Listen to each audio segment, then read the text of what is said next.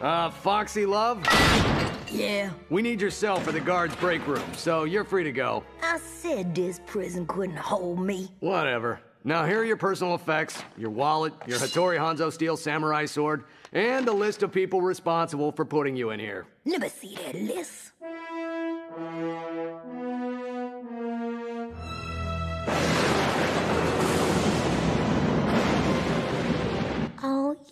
Forgot about those guys.